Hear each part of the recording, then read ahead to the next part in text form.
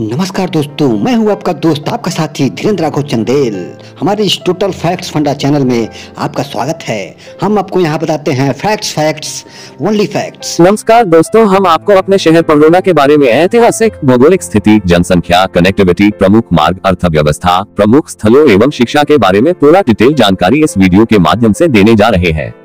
मैं भी परोना का ही रहने वाला हूँ। अगर आप भी परोना के निवासी हैं और आपको ये जानकारी अच्छी लगे तो हमें कमेंट करके ज़रूर बताएँ और अपने इस टोटल फैक्ट्स फंडर चैनल को ज़रूर सब्सक्राइब लाइक और शेयर करें। लेट्स बिगिन पडरौना शहर पूर्वी उत्तर प्रदेश राज्य में जिला कुशीनगर का एक सुंदर शहर है। इसका इतिहास शुरू से ही महत्वपूर्ण रहा है जहाँ भगवान श्री राम और गौतम बुद्ध जैसे महापुरुषों के कदम पड़ी हो जिस कारण दिलवालों का शहर की उपाधि उपयुक्त लगती है। पडरौना जिला मुख्यालय भी यहीं पर स्थित है। इसका प्राचीन नाम पावा था, जहाँ गौतम बुद्ध ने अपना अंतिम भोजन किया था एवं महानिर्वाण प्राप्त किया था। यह वह स्थान है जहाँ श्री राम ने अपने जीवन के कुछ दिन बिताए थे।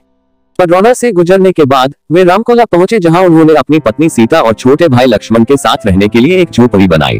पडरौना प्राचीन मल क्षत्रियों का भी स्थान है, जो अपने संथाग्रह से सरकार के लोकतांत्रिक स्वरूप का पालन कर रहे थे। यह कुशीनगर शहर से 21 किलोमीटर पूर्व में स्थित है। पडरौना का यह नाम कैसे पड़ा? इसके बारे में स्थानीय लोगों का कहना है कि भगवान श्री रामचंद्र जी ने इस क्षेत्र में अपनी पत्नी सीता और भाई लक्ष्मण के साथ कुछ दिन यहाँ निवास किया था और अपने पावन पैरों से इस जगह को रौंदा था। अतः उनकी पद से रौंदे इस इलाके को पदरौंदा कहा गया, जो कि बाद में बदल कर पदरौंदा से पडरौना हो गया। पडरौना शहर की भौगोलिक स्थिति। पडरौना शहर 26.9 उत्तरी अक्षांश और तिरासी दशमलव नौ आठ पूर्वी देशांतर पर स्थित है। गोरखपुर से लगभग 75 किलोमीटर। पुरुगोड़ तथा देवरिया से लगभग 60 किलोमीटर। उत्तर ओर स्थित है, जो कि गोरखपुर कमिश्नरी के अंतर्गत आता है। पडरौना महान मैदानों में स्थित है और तराई क्षेत्र है, जो हिमालय के पीडमोंट मैदानों के बहुत करीब है और नेपाल और बिहार की सीमाओं के बहुत करीब है। यह बासी नदी के तट पर स्थित है, जो नेपाल में उत्पन्न होने वाली गंगा की सहायक नदी है। यह शहर उत्तर प्रदेश के पश्चिमी जिलों की प्राकृतिक विशेषताओं से अलग विशेषताओं को प्रस्तुत करता है।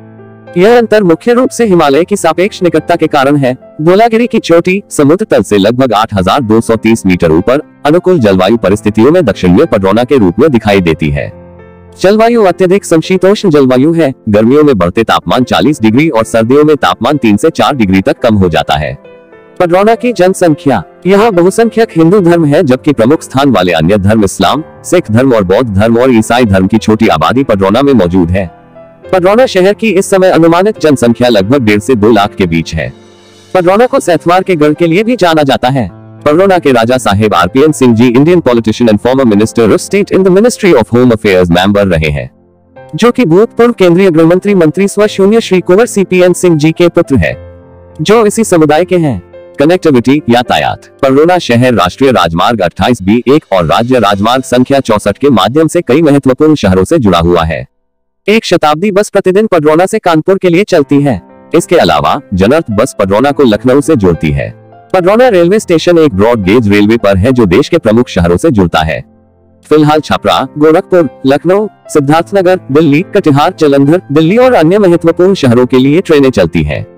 यहाँ लगभग 20 किलोमीटर दक्षिण कस्या में कुशीनगर अंतर्राष्ट्रीय हवाई अड्डे का निर्माण कार्य पूरा हो गया है, जिसका जल्दी ही शुभारंभ होने की उम्मीद है। कुशीनगर और सारनाथ के बीच प्रस्तावित बुद्ध एक्सप्रेस वे वाराणसी में राष्ट्रीय राजमार्ग दो के माध्यम से राज्य के दक्षिण पूर्वी शहरों जैसे वाराणसी, इलाहाबाद, आजमगढ़ और कोलकाता के साथ कनेक्टिविटी प्रदान करेगा। पडरौना की अर्थव्यवस्था पडरौना की अर्थव्यवस्था में मुख्य रूप से कृषि, गन्ना, केला, धान सब्जियों के बाद अन्य सेवाएँ शामिल हैं और औद्योगिक क्षेत्र द्वारा थोड़ा योगदान दिया जाता है। व्यापारिक कृषि के रूप में हल्दी, पपीता, केला इत्यादि की खेती होती है। पडरौना में कई परिवार मारवाड़ी वर्ग संचालित व्यवसाय, दुकानें, विक्रेता, फेरी वाले आदि हैं। पडरौना में कई छोटे और मध्यम आकार के होटल मौजूद हैं। पहले कुछ उद्योग थे। उदाहरण के लिए कानपुर शुगर वर्क्स, चीनी कारखाना, जो अब चालू नहीं है। कारखानों के बंद होने से इस क्षेत्र में गरीबी और पिछड़ापन पैदा हुआ है। इस क्षेत्र में बिजली की कमी से पिछड़ापन और भी बढ़ गया है। पडरौना शहर के प्रमुख स्थल। पडरौना शहर के उल्लेखनीय स्थल है। सुभाष चौक, तिलक चौक, अम्बे चौक, छावनी रविंद्र नगर राजदरबार गुर्री बाज़ार, लाजपत नगर, दुर्गा मंदिर जटाह रोड, बेलवा, चुंगी, बवाली चौक, चीनी कारखाना आदि।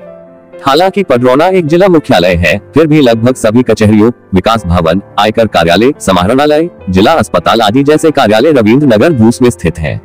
Kanhaiya talkies, Krishna talkies, Sahu palace आदि सिनेमाघर मौजूद है। पडरौना शहर में यूनिक बाज़ार वी दो सुपर मार्केट सिटी कार्ट और वी मार्ट में कई और मॉल और सुपर मार्केट भी है। एक सिटी मॉल माल भी बनकर तैयार है। परोना शहर शिक्षा के एजुकेशन की बात करें तो। एजुकेशन शिक्षा के क्षेत्र में ये शहर शुरुआत से ही अग्रणी रहा है। यहाँ Udit Narayan post graduate college DDU Gorakhpur से संबद्ध उदित नारायण स्नातकोत्तर college Goswami Tulsidas intermediate college भारतीय intermediate college ITI Kendriya Vidyalaya, Navodaya विद्यालय सेंट फ्रेसिस स्कूल आईसीएसई से संबद्ध स्कूल है जो पूरे क्षेत्र में सबसे अच्छा स्कूल माना जाता है।